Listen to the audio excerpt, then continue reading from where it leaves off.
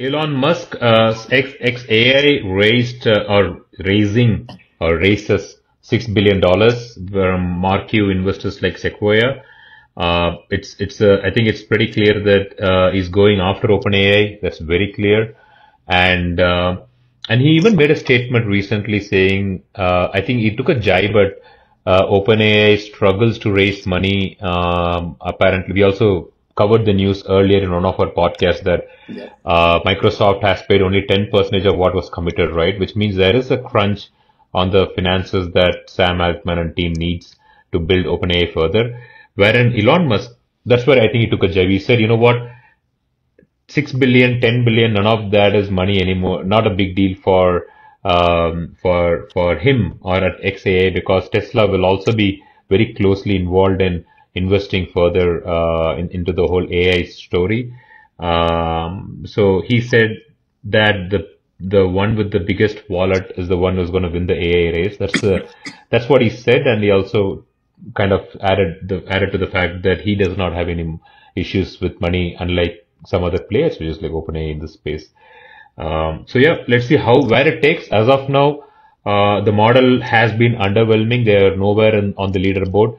Uh, so there is definitely one advantage that the model is better with the uh, images because of the Tesla. Uh, Tesla comes with a lot of uh, images because of the self-driving capability that they're trying to build. So the model comes with that advantage, but otherwise uh, the model is kind of not there uh, in the leaderboard. Let's see where the six billion dollar takes XAI to. No, absolutely. I think definitely deep. While obviously GPT is and probably is going to remain a, a you know market leader for a long time, Siva, as you know, especially with five in the cards, right? GPT five in the cards, right?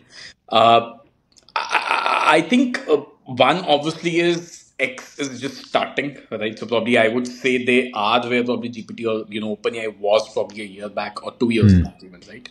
What would be very interesting to see is one obviously as you mentioned, right? They have access to this massive image set that they've gotten through Tesla. But once probably he starts leveraging a lot of data that he's gathering to SpaceX, to Neuralink integration, to actual X integration, and so on and so forth. I think I do see a lot of potential, especially with you know uh, he's capable of Elon Musk is capable of. But you know, as as you rightly mentioned, I don't think so. It's a threat yet to ChatGPT, but it soon might be. Right. Uh, so yeah, uh, we'll, I mean, honestly, if you really ask me, Siva, it's such a young industry right now. It's very early to. I'm going back to the days when we were in ecom, and and eventually we saw whoever was deep pocketed probably win one, right? So maybe it might have the same fate, but it's it's yet to be seen, right?